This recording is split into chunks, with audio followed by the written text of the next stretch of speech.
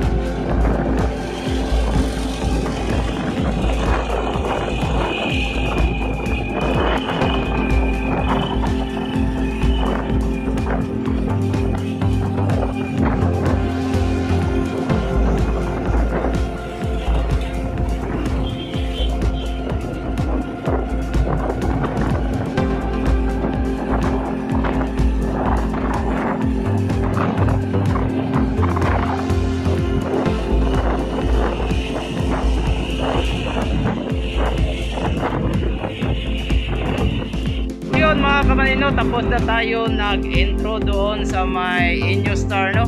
At tapos na tayo nag-update doon sa Sisilig, Cebu Cordoba Link of Expressway ngayon. At nandito na tayo sa Seawall para magpaalam sa inyo. Para magpaalam sa inyo, no? At hanggang dito na lang tayo. Huwag muna mga kamanoy kasi may shoutout pa tayo. Shoutout sa lahat ng engineers sa Sisilix, pati na rin yung mga guard doon at saka mga Sisilix worker, no? Shoutout sa inyong lahat at be uh, keep safe always. Alright, at hanggang dito lang tayo mga kamanoy. Goodbye!